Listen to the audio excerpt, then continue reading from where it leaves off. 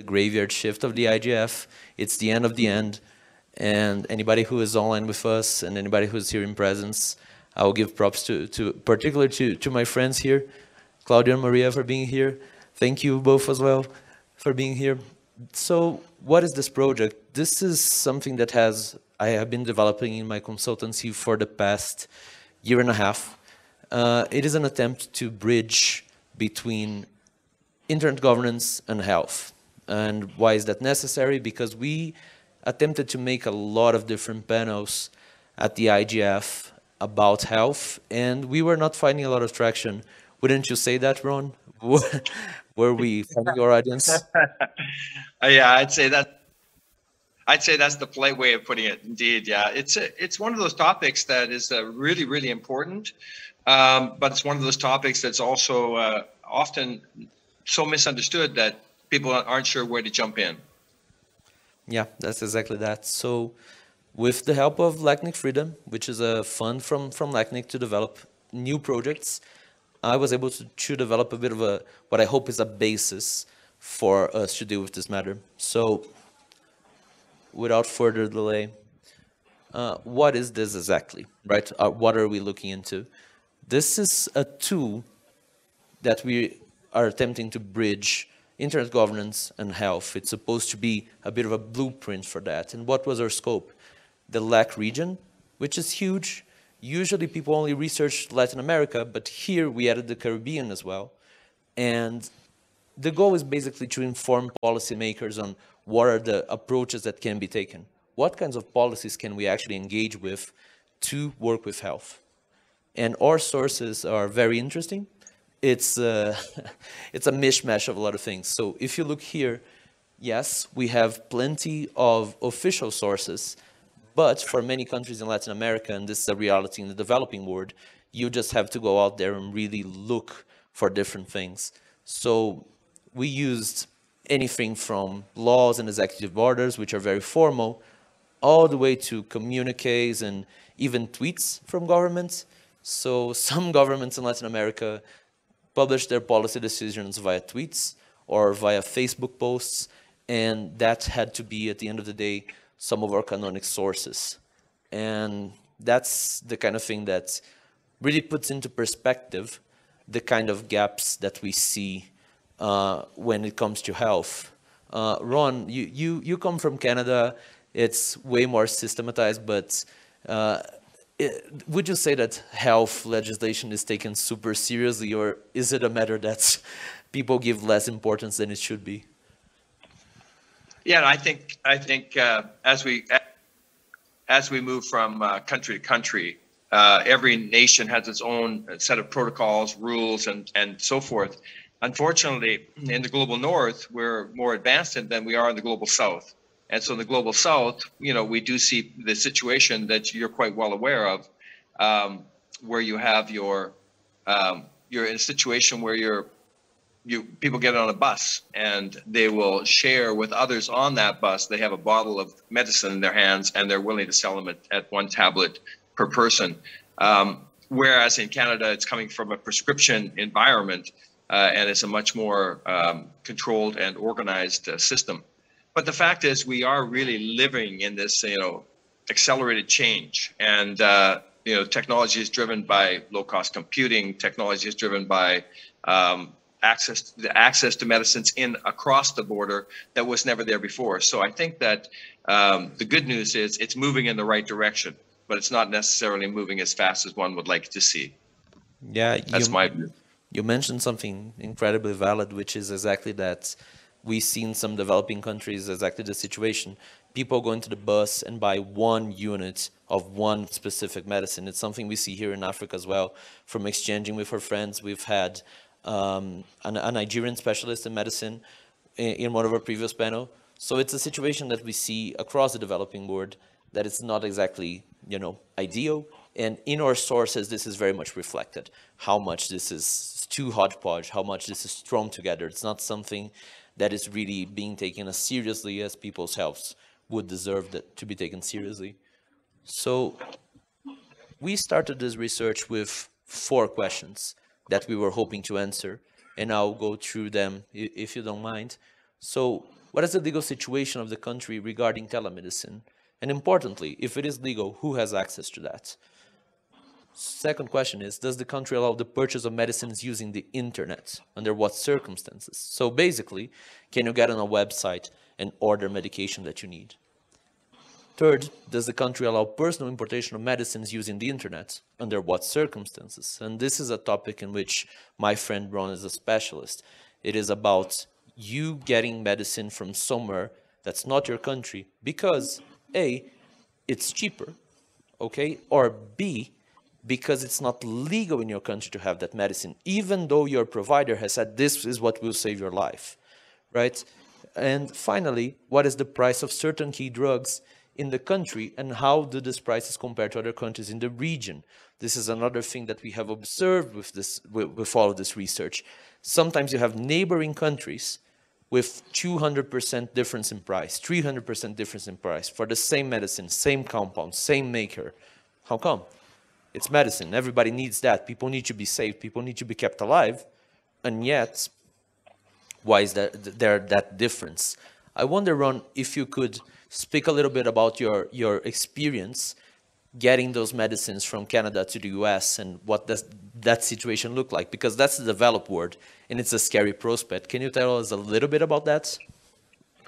It's a very scary prospect because as you can, if you, as you just said, it, this is happening in a, in between nations and governments that are a little bit more um, further down the road in terms of having organized these things. Let's put it that way at the end of the day, what's really frustrating is that uh, we have two sets of rules. One set of rules that governments and uh, administrative authorities look at in terms of what you can do and what you cannot do. And another set of rules that uh, the gatekeepers, the internet gatekeepers, are managing on, behalf, on our behalf, on our behalf, um, mutual behalf, as it were.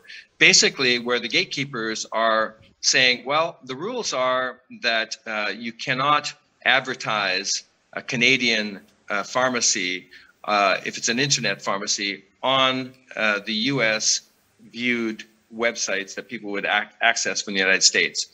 Uh, however, a rogue pharmacy can come in and it can put umlauts over the O and it can put a couple of dashes and accents around E's and I's, uh, which are obviously, it's an obviously fake uh, advertisement, and yet they're able to advertise. So we're really between a rock and a hard place here, and unless there's some kind of a agreement by the internet community, whether they be uh, the what we'll call the the plumbers, the guys who provide all of the infrastructure, or whether they be on the policy side from um, just the community as a whole, until we get to a place where that has been developed, uh, we're going to have this continued uh, disparity where actually um, instead of doing the right thing, a lot of the gatekeepers are just allowing those advertisers, those rogue advertisers, to to advertise their products. Uh, Xanax, uh, no prescription, for example. Um, these are really, really deadly drugs. They can, mis- uh, misuse could be uh, quite a serious, have quite serious impact. So um, it's really important that we get some traction and we get some uh, real movement toward standards and norms uh, on a internet basis because once that happens i believe that governments and administrations will follow that lead that's my hope yeah and this is a problem in the global north so what did we get based on everything that Ron just said and the research that they do in the north what we thought was what does this look like in the global south because if it's this stuff up there where it's overly regulated there's a lot of interest in the pharma industry how does it look in our Latin American region, right? And it's the thing. Why does it matter, right? We started looking at the at the literature, and some scary things come to be, and they're logical, but we don't think about them, right? If people need medicine, and they cannot afford it, what do they do? They go look for cheaper alternatives, right? And you bump into this statistic: one in ten medicines circulating on the internet are of inferior quality or counterfeit. So there's a 1 in 10 chance that in this search for something cheaper, they will end up with something that may seriously harm their health or kill them. So this is something that's pretty scary in my view. because we are not doing our due diligence. As Ron mentioned, there's pharmacy out there, there's rogue pharmacies. These are operations that are global, generally acting from two certain countries. Uh, and what do they do? They use every tool available in the Internet Governance Toolkit, right? They do search engine optimization, they do use the, the DNS, the domain name system, in a malicious way to try to get it across, like Ron said, by changing their name slightly and pretending to be a website, by phishing credentials, all kinds of things. And at the end of the day, what do they do? Once they get a credential of a person, once that person is in their database, every month they come back and call the person and go like, hey, your prescription ran out. You need more. And they keep pushing this medicine that may be insufficient. It may be laced with something addictive so that the person will keep on getting only that medicine from them. Or it may be outright something poisonous. So this is not a good look, and this is why we think it matters. So what's the situation, right? Uh, in the internet governance field, every time we try to bring this, this, this topic, it doesn't attract much attention. This session is a reflection of that, but, well, we are in the graveyard shift, but broadly, there's no interest, right? People seem to look at health as if it is something minor or, or tangential, even though we just came out of a global pandemic. So, you know, the internet keeps growing. During the entire pandemic, it grew, and it is something we need to be looking into. At least that's our idea, or why we are doing this. So, in fact, Mark, in fact, Mark, if I could just if I can just share that, uh, you know, when you talk about the pandemic, um, we found that statistically, uh, you know, we've we've watched a lot of different surveys and research coming out, and uh, basically, you know, Americans across all demographics were purchasing medicine online during the uh, during the pandemic, and in fact, um, they were doing it. You know, sixty percent were saying it was because of the uh, convenience, and, uh, and the fifty-six percent was saying it was because of cost. At the end of the day, um, people are going online looking for these things. There's absolutely no doubt about it. The question is, where is the source of the information they're getting? Uh, is that a safe and trusted place or not? And so that's what we're seeing here. Uh, the pandemic really amped things up. Yeah, and and thinking about that, right? We saw a lot of miracle cures as well. Websites pretending like they could cure COVID nineteen. We saw all all kinds of stuff, didn't we? Yeah, yeah, absolutely. So it's like when we stop to look and consider all these things, we looked at all of these countries which constitute most of Latin America and the Caribbean. Unfortunately, some nations in the Caribbean are so small that it's almost impossible to get data on them. But still, we went for most of it. And the results we have are pretty interesting. I will discuss them briefly and Ron will, will help me out with some comments about this. So what does it look like in terms of telemedicine? After the pandemic, as you can see, a lot became legal. There's plenty of countries that approved their telemedicine laws in 2020, 2021 or something. Some were ahead of the curve and had already been making it legal for the past decade. But we still have countries to this day in which what we call the gray area. What is a gray area? You don't have specific laws. When you don't have specific laws, what happens is you don't know the, practitioner, the practitioner may not be safe, the, the doctor may not be safe, and the patient may not be safe, depending on the procedure. And this is not happening exactly in only in very small countries, right? You have countries like Honduras, you know, still gray area.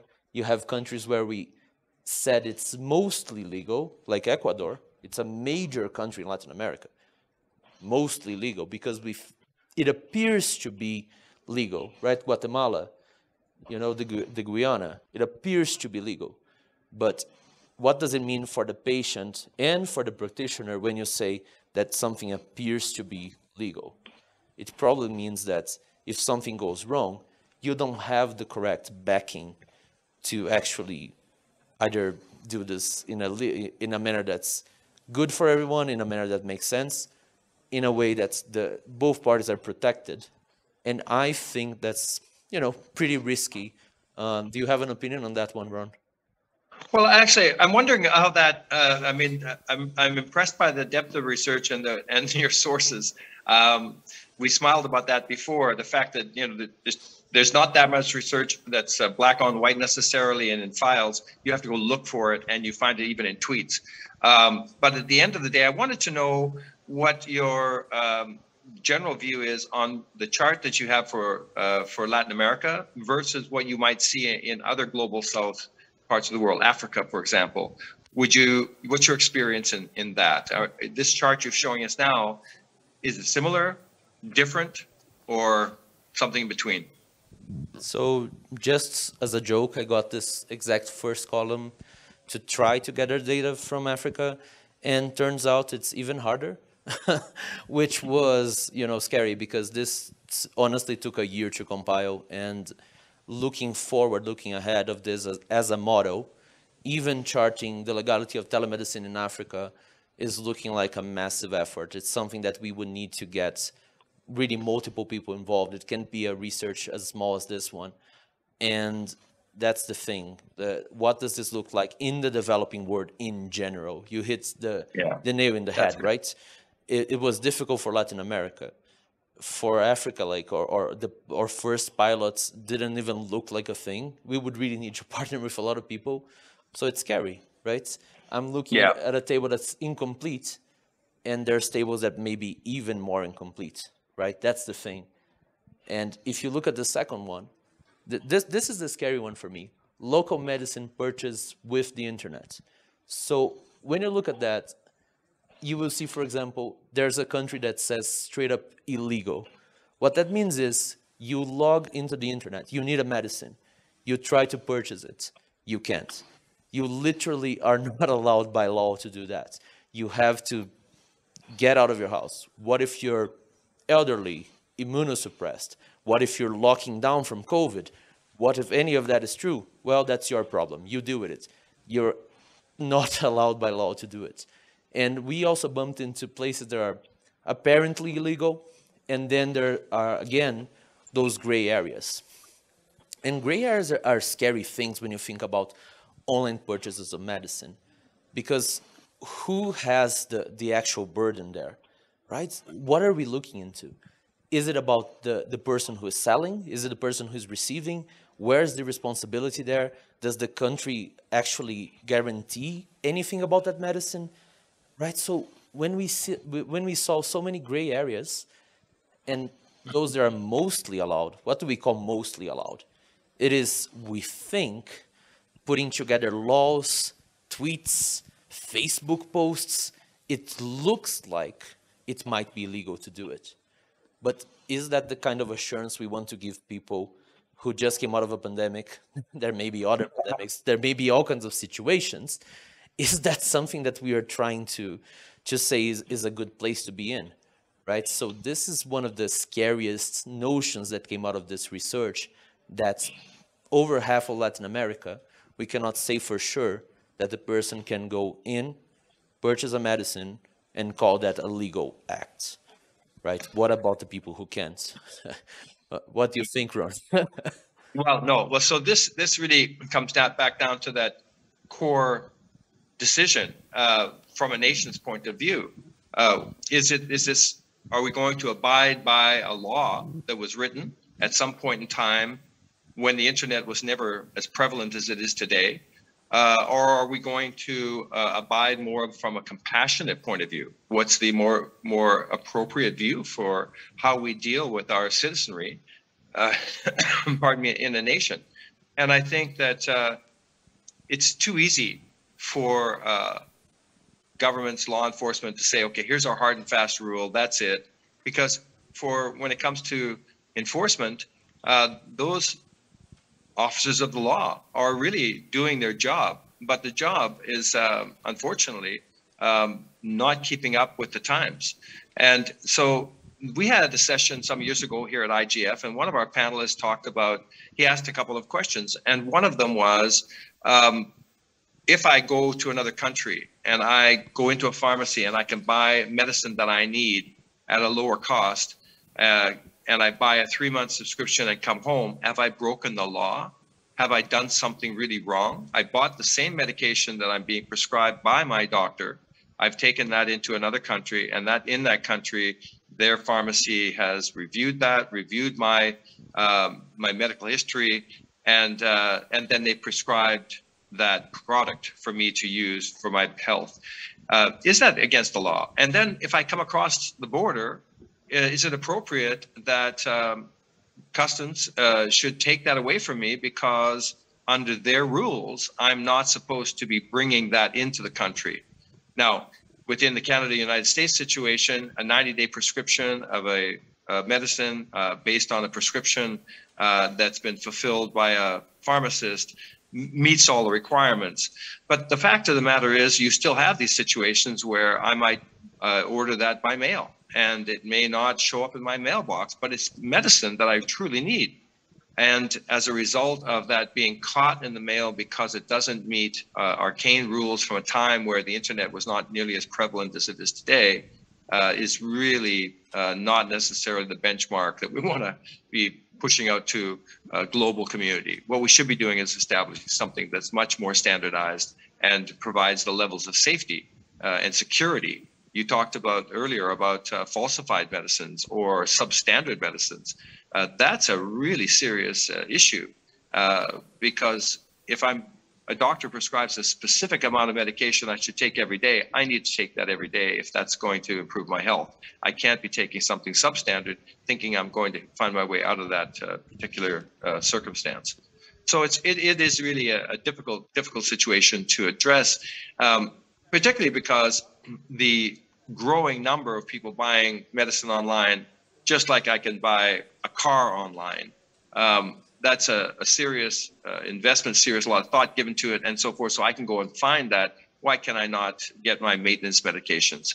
Because we're not talking about opioids here. We're not talking about uh, medicines that need to be kept frozen uh, for a particular period of time, those types of things. We're talking about maintenance medications, my blood pressure, or whatever that might be that uh, individuals need. So this is the tricky part that we're we're really dealing with right now. Yeah, I, I think you you hit it right in the head. Like who has control over this? Governments basically, because we are not discussing it. We are not pushing any kind of policy in any forum to advance these questions. So even though it is a thing that I think we have proven is important, we are not discussing it anywhere. We are not advancing the discussion of how to make this legal for everyone. And then we where the discussion is happening, right. Mark. If I might jump on that part, Go for me for interrupting. Where that conversation is happening, it's happening in a in a closed echo chamber. It's happening exactly. with you know the FDA in the room and uh, lobbyists in the room and a number of people in the room because they have a specific outcome that they would like to see passed in some some type of legislation. But the actual consumers uh, and those who are serving those those in need of those med- medicines, they're not in the room to have that participate in that conversation. So it really is a closed loop that they're having that conversation in, and that's very frustrating. I think uh, you, are right uh, that we have to find a way, but we can't find a way unless we actually have people in the room that want to find a solution, as opposed to wanting to stop, uh, just stop all activity in terms of using the internet for application to your medicines. Uh, just, just say it's all rogue is really sticking your head in the sand like an ostrich. That's that happens to be the current case and the current situation we live in. So I apologize for jumping on you, but it was an important point I wanted to get out. No, that, that's exactly it. You, you, you correct me in the in the best way possible. People are discussing this. It's just not us. It's just not the people who are actually affected by it. It's just it's basically the companies or uh, and a few legislators. So when we come to the final part of the table here, personal medicine importation, this is where things get tricky. Like this, this is tricky as hell, right? Like you can see that this is where the unknown starts. And, and this unknown is very scary because it means like literally there's no rule. So, okay, you have a disease, you have to import a medication to treat that disease. Can you? I don't know. And we literally dug very deep, right? It's not like we were doing superficial research. We were looking everywhere, everywhere. And there's no law saying whether you can do that in a lot of countries in a very vast region and even in important countries i'm, I'm saying like every country, country is important but countries that have a massive size there you go you don't know and in some of them okay it's allowed but then we got thinking what does allowed mean? Allowed is a very tricky word, right? It's, it's incredibly tricky. You can say, yeah, this is allowed, but we started digging into how many procedures do you have to go through to be able to get that medicine? And that's when it gets super tricky. Because in some countries, okay, medium difficulty, you spend like three months going after that.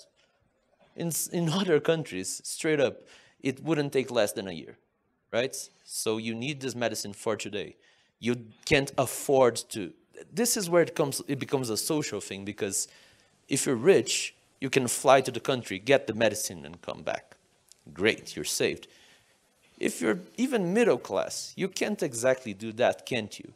So why don't you go to an online pharmacy and get the medicine you need delivered to you? Well, can you? Unknown, very difficult, allowed but difficult. Then it starts to get really tricky, right? Because when you look at prices here, we did some price comparison, and in some countries, and this is the Latin American region alone, right? You have a disparity of price of as much as 171% more for the same medicine, same brand, same composition, same everything.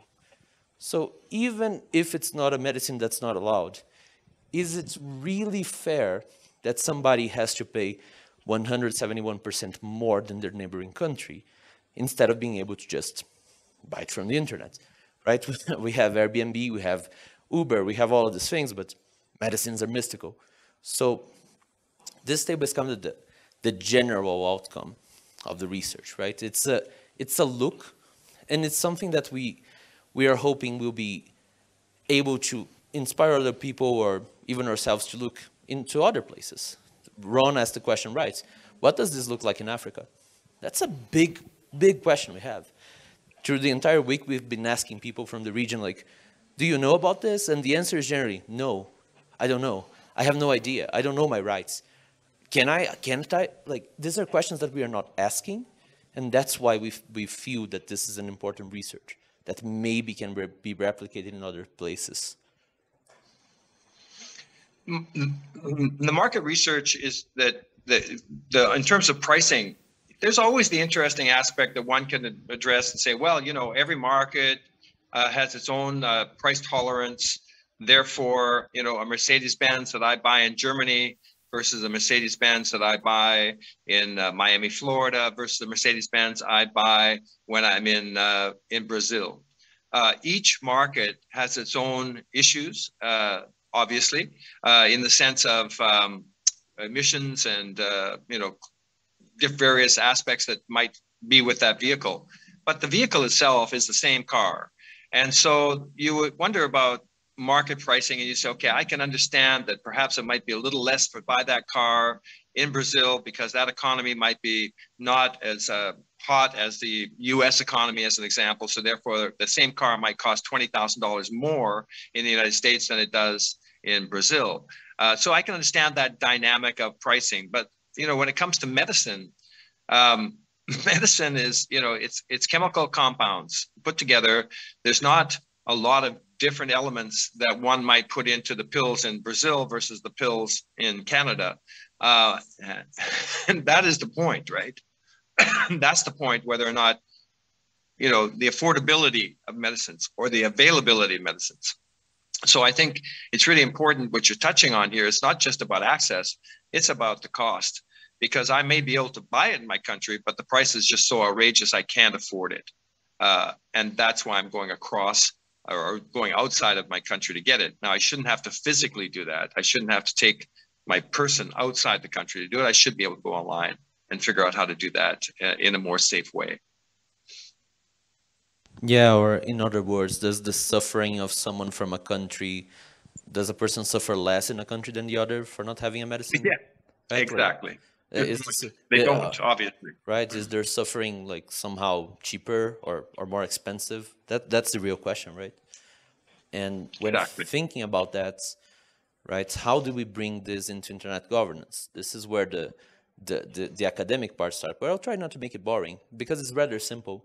There's this area called health policy and systems research, and it's surprisingly similar to internet governance, like way more than you would think. They're all about multi-stakeholder collaboration and all the things that we talk about here. It's the same for them.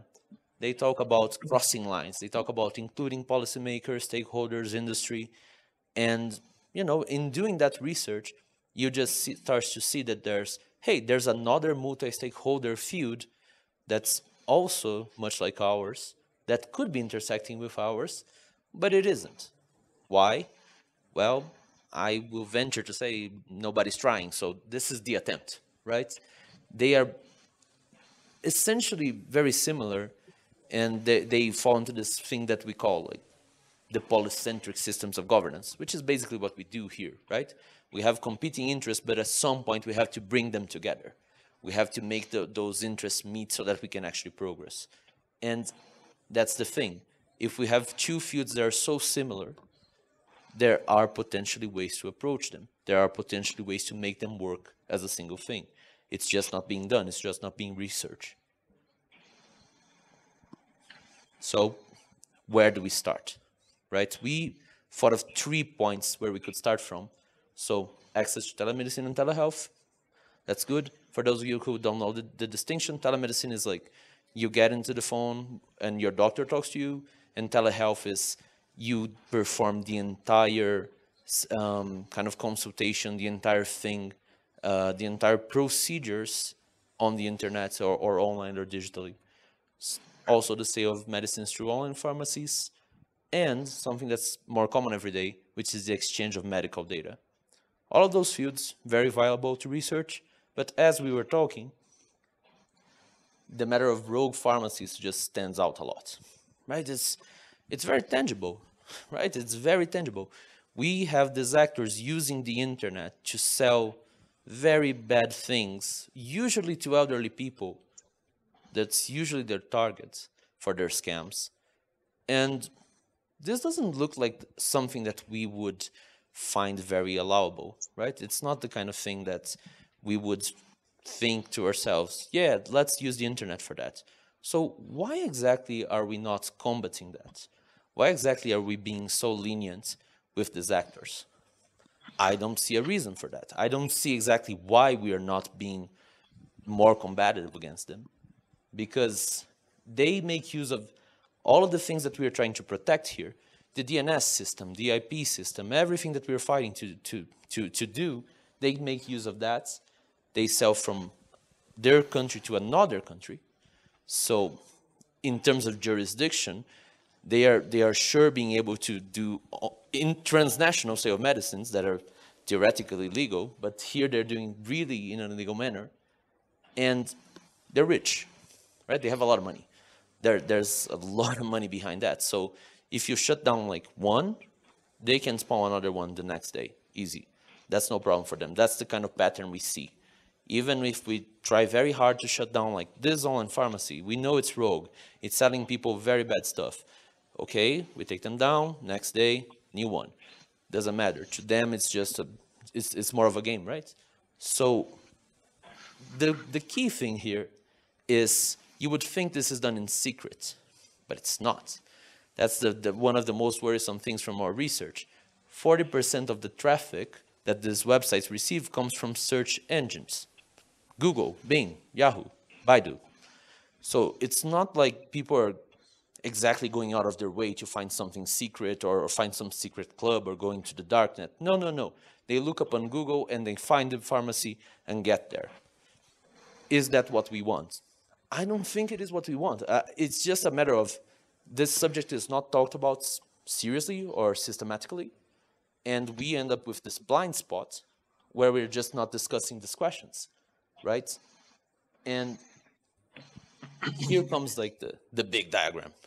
And here, if people want to start chatting back to us, this is a good point to start chatting back to us. Um, what is this, right?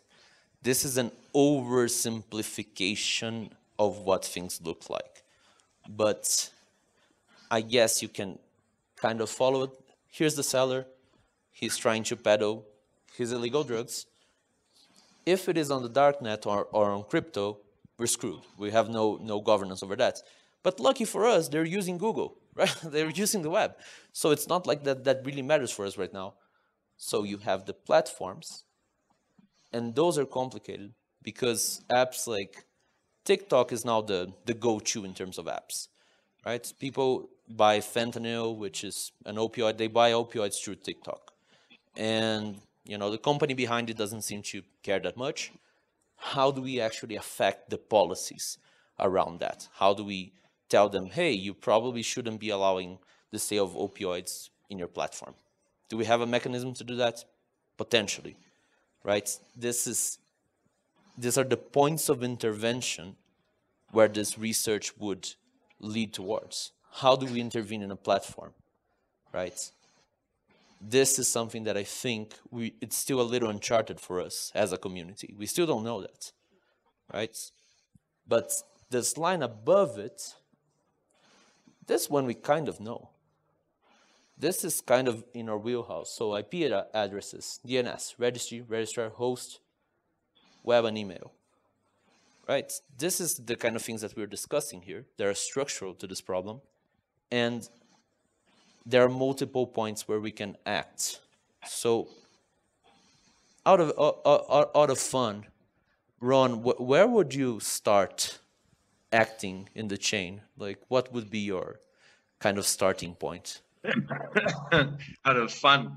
I wish it were out of fun, but I, the reality is that my experience is, is has seen that it's the uh, the, the gatekeepers, and when I say gatekeepers, I'm talking about the platforms, whether they be you know TikTok or whether they be Google or others, uh, Instagram, um, whether these guys would follow a path that would be a a path that's to the betterment of society, or they're happy to follow the path of least resistance.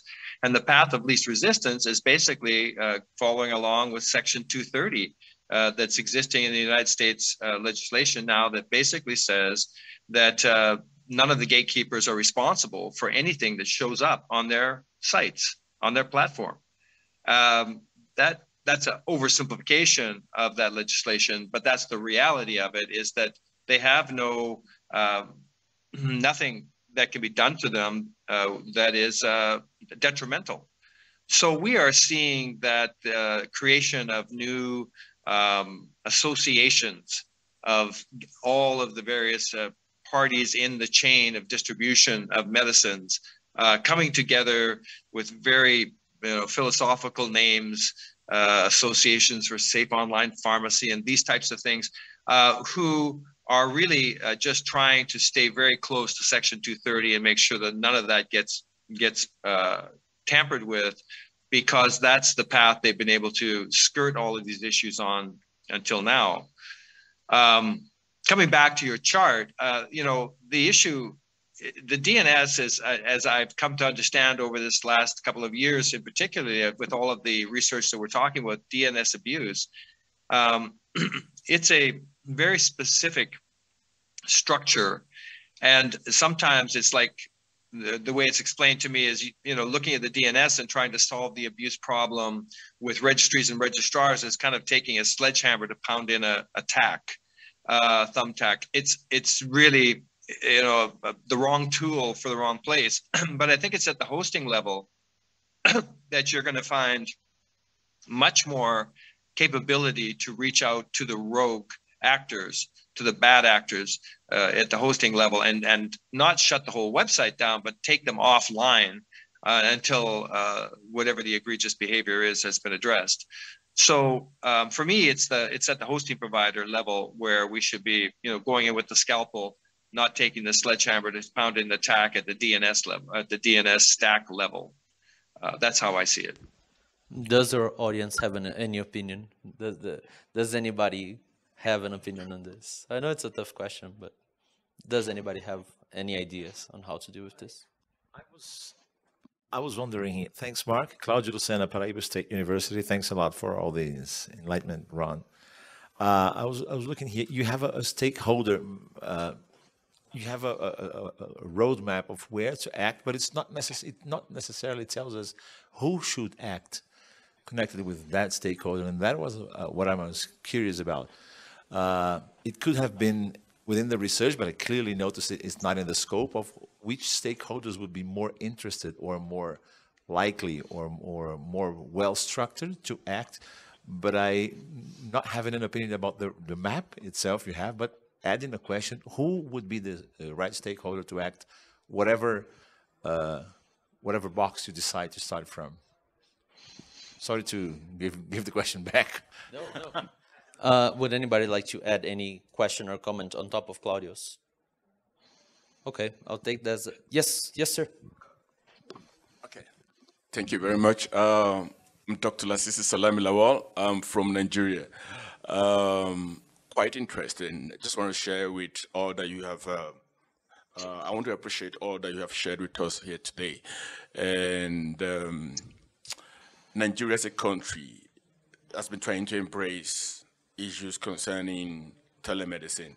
As a matter of fact, I'm a research winner of ITU on Connect to Recover, where we conducted action research on telemedicine to help fast track United Nations um, Sustainable Development Goal 3. It's about health for all.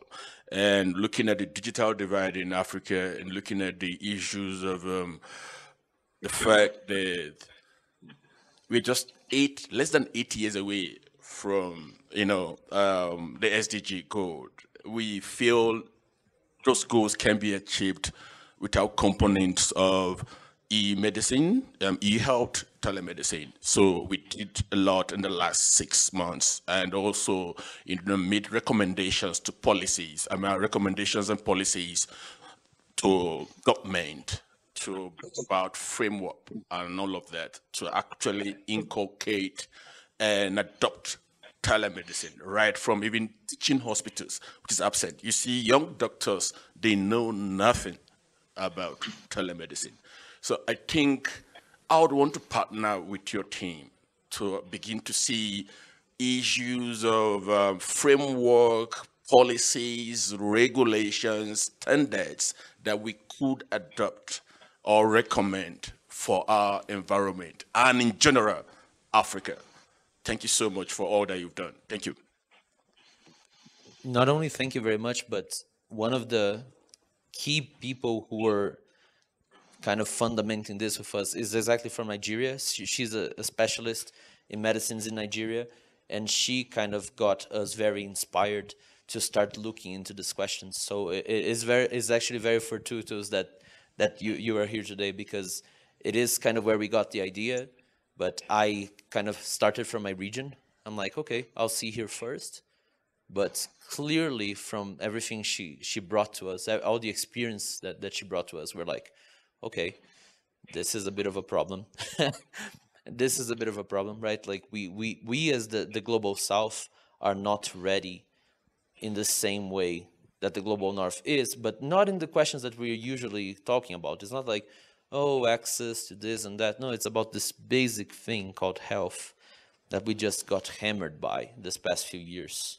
So uh, it, this is actually fortuitous. And answering to, to, to Professor Claudio, that's exactly the thing that, I, that we were hoping we would find out. How, where do we go with this? And uh, as one of our of our researcher friends would say, uh, how does Aria put it, Ron? Where's the Who's the convener? Who's the Who convener? The convener? Thank Who's you. the convener? Exactly. Who's the convener? Right? And we spent two years researching that, and the answer is um, if we want that answer, we have to do way more research. That's the thing about this incipient field of, of trying to bring health and internet together. We found out that people are so uninterested in this, and this is what's scary. This is why we, we're trying to bring this to the IGF, because we're like, okay, somebody must have answered this, and the answer is no. and, and it's super difficult when you have to consider the fact that um, the research is so incipient that we don't have a mechanism. We can't go to the WHO. We tried uh, to look, okay, the WHO, right? World Health Organization seems like a good place. No, they don't deal with internet. They barely understand the internet exists. Scary, very scary. You go like, oh, governments. Then we bump into the, the table that, that we were showing in which some governments don't even have legislation for the sale of medicines. Okay, this is getting tricky okay, maybe we go talk to ICANN. There's absolutely no discussion over at ICANN about these rogue pharmacies that are actually murdering people. They're literally murdering people. No discussion there. Where do we look? Right? The IGF is great because we get to socialize this, these issues, which is good. But the next step, the next question is how do we bring this to these different forums? That's the part that is so interesting, but at the same time, very, you know, daring uh, we have a, a big community here. We can intervene on all sorts of levels, right? Uh, I wonder if my tech friends could project very small the table here and me, or me and the table, me and table and me. Thank you very much. if, I, if there can be me and the table, would it would be great, but let, let me not text you too much. So we can even do this at the IP address level. There are IP blacklists out there that act on the borders of the ASs, but then this is super easy for them to overcome. They just get a, yeah, it's whack-a-mole, right? Like, they use the DNS to just call for another IP. So here we're kind of screwed. At the DNS level, that's more interesting, right? Domain names are more interesting because they have to keep, keep them alive for a bit. In our research, we found out they keep them alive for like a week to two weeks the, the ones that stay very long, it's like two months. So that's the frame of action that we have to actually take these pharmacies down. It's a very, very small frame for us to take them down. So if we were to work here, the registry, who are the owner of the domain, so the .orgs of the world, they usually don't deal with this. Who would, would we deal with? It's these guys here, right? registrars and hosts. They are more here, right? They're more here. If we learn to start complaining fast and effectively to them, potentially we can accomplish something. But we, do we have a framework for that? We don't. So this that's where advancing internet governance and health system policy research together starts to bear fruit. We can start bringing evidence to these players so that it never gets to this part so that we don't have to worry about when it goes to search engines, websites, CDNs, email, spam, right? When it gets there, it's already kind of late. We, we, we're already kind of lost. We need to stop them as they're doing these actions. But that would require massive coordination, massive will. So am I here to bring the solution? No, I'm not here to bring the solution. I'm here to bring a table. I'm here to bring a, a table. I'm just a researcher, right? I just want to point out that things are very unknown for us in this field yet. We need to start looking at this more systematically and hopefully, you know, um, uh, through the next few years, I currently serve as a GNSO councilor at ICANN. I have been trying to advance those issues there. Hopefully we can do a little more. Hopefully some of you who are players in the industry can do a little bit more. Come talk to me. This is supposed to be like something for us to, to talk about, just kind of expose this research for the first time. And I would like to know if there are any more interventions, questions, or jokes. I'm, I'm taking jokes as well. Sorry to disappoint, Mark. I don't have a joke for you. Um, Jennifer Chung, I guess, uh, speaking as Dot Asia. I think I do agree with what Ron said earlier. I mean, as a registry, we have the bluntest instrument. We're not able to do it. We just take it down. And if you're looking at, as you as you pointed out in the flow chart, if you're starting uh, the action at the registrar level, it really does depend on the jurisdiction that they're in. If the laws in that jurisdiction doesn't allow them to act, it's very difficult for them to act. Our registrar friends need a court order or some frame, legal framework for them to be able to act. It's very difficult to ask them to act as judge, jury, and executioner in these matters.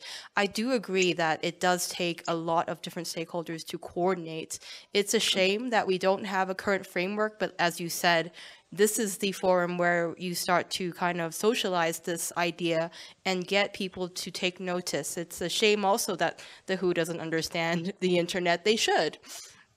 Um, I wanted. I have a question for you now. After that comment, I noticed that your table does contain a lot of information for the LAC region. Are you looking to expand your research to other jurisdictions and other regions? Because Asia Pacific region has a lot of um, very gray areas, especially you know certain cultures have traditional medicines that also operate in the very gray area and they do you know sell things online and that may not be completely legal. So just a question about your research uh, next steps. Thank you for dovetailing into the perfect question. Yes we are looking for partners to keep this going. Right? A simple answer. Uh, we LAC was was very kind to give us the funds to get this pilot started. They really believed in us when nobody else was even believing in this. So uh, we're really thankful that, that LACNIC got us the seed funding so that we could try to prove that, yes, there is a debate involving health and the internet. It is a thing, right? Like, uh, it seems obvious, but you would be befuddled by the amount of no's that we got. We got years of no's before we got somebody to, to believe in us. Are there other actors out there who would want to keep this going, take this to their, their region? That would be beautiful. So if any of you in here or online know of any actor that would like to at least talk about that, yes, we would be very happy to move this forward because we just proved that it kind of exists. This is a thing. Now, where do we go from here? Uh, where, what do you think, Ron? Where do we go from here? Well, there's two things, and I also see Tim Smith from the Canadian International Pharmacy Association has his hand up, so we can probably look to him to get some uh, clear information. But I wanted to uh, just say I'm very hopeful uh, at this point in time that we actually will start to put some meat on the bones, as they say, in on this topic because both well everyone's clear on the technical abuse of the DNS, and now we're also talking about the um, the content abuse much more clearly than we've ever spoken before. And so I'm hopeful that with all of this general move towards it, internet jurisdiction are moving in this direction, other major players are moving in this direction to try to actually start coming up with a set of uh, rules by which all the internet players will live and work and act uh, as opposed to waiting for legislations all around the world to harmonize laws on this very topic. So I'm very uh, hopeful that we actually are at this period in time moving in the right direction. And hopefully within a year or two, we might actually see some meat on the bone, some standards, some norms that everyone can agree with. Uh, from an internet community point of view, saying these all all these rules make sense. They're more compassionate. They're more understanding of the situation. And um, once we get there, I think then we'll see government administrations start to modify their rules to adapt what we as the internet community have come up with. That's my hope anyway, I wanted just to make that uh, comment, and, uh, I did see Tim's hand was up, and I know we're coming close on time, so I just mentioned those two things, Mark. Thank, you. Thank you so much, Ron. For Ron has been a, a great mentor and a, and a great supporter of this research. And Tim, please. Thanks very much. Can you hear me? Yes. Good. Well, uh, and I, I know we're getting short on time. Uh, Ron just touched on the the issue of DNS abuse, and I don't want to go too far down that hole, that rabbit hole. Although, um, when you when you take a look at your chart and the different levels of uh, where the issue could be addressed. Um, you know, there is a lot of discussion, of course, within the ICANN world about malicious and compromised domains.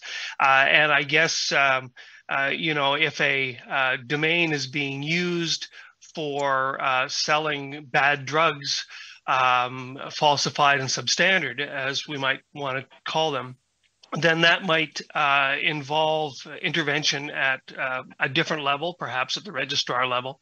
If it's a matter of a compromised domain where a page on a website is being uh, compromised to try to market falsified and substandard drugs, that may be more at the hosting level.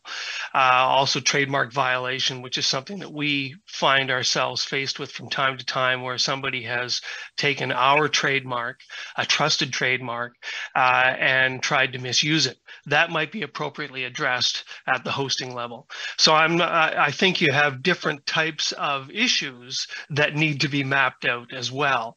But I think uh, probably the first issue that needs to be dealt with, and I and I think back to the slide that you had early on, Mark, where you um, defined what you call a rogue pharmacy. Um, and there's a whole bunch of uh, different criteria that you throw into being a rogue pharmacy. Uh, and I think the first step is to determine what is it that you're trying to permit which is access to safe and affordable medicines. And what is it you're trying to restrict, which is the uh, ability for marketers of falsified and substandard and counterfeit drugs. Um, so I think you need to take a step back uh, and first define that clearly what it is you're trying to address uh, before you get to who is it that actually takes action.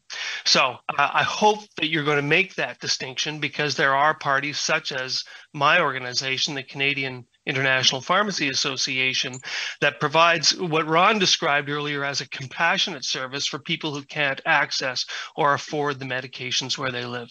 So uh, it very much needs to be defined in, in many ways as you proceed in your uh, research. Thank you. Thank you, Tim. For those not in the know, Tim is like a guru in this area, so it's it's a pleasure in itself to have him. Uh, thank you so much for that, Tim. Yeah, I think you're you're absolutely correct. The matter of definition is so tough, especially considering that uh, there are areas in which thousands of people are involved and we don't have good definitions.